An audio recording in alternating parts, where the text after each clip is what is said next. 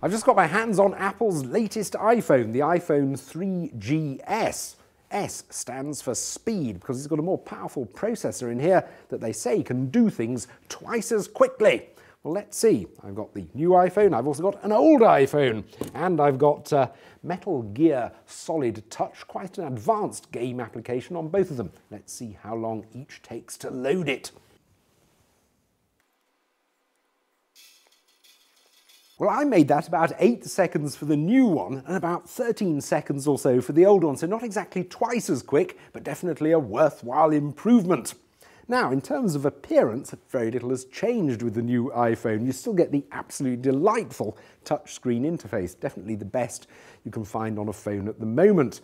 Um, it's also very slightly heavier, incorporates 32 gigabytes of memory and promises a slight improvement on battery life, though I haven't had the opportunity to check that out yet.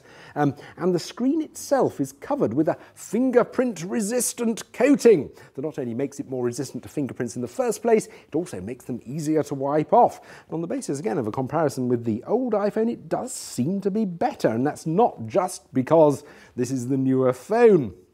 So, the other improvements, though, with the 3GS are really incremental. I mean, they're all things we've seen on smartphones before, but they are new to the iPhone. Most important of these is probably the camera. It now comes with 3 megapixels rather than 2. It includes autofocus and includes the ability to shoot video, although rather disappointingly there's no flash. However, I really do quite like the video application. It's only uh, 640 by 480, so no high definition or anything, but uh, the pictures look very clear. It's 30 frames per second, so the movement's smooth. And you also get this uh, really rather good trimming function that's very easy to use. So you can easily reduce a clip down and also, I'm told, email it to YouTube easily as well. Another new feature is copying and pasting. Again, something which uh, most smartphones have been able to do for quite some time, but it's new to the iPhone and actually quite an elegant version of it as well. I've got a note here, for example. I can double tap on the screen. A blue highlight immediately appears, plus a bit of a magnification rectangle at the top. I can slide it along using the handles provided. The menu appears. I can either copy it or cut it. In this case, I'm going to copy it. And I'm going to put it into a new note. Make a new note. And uh, double tap again, paste.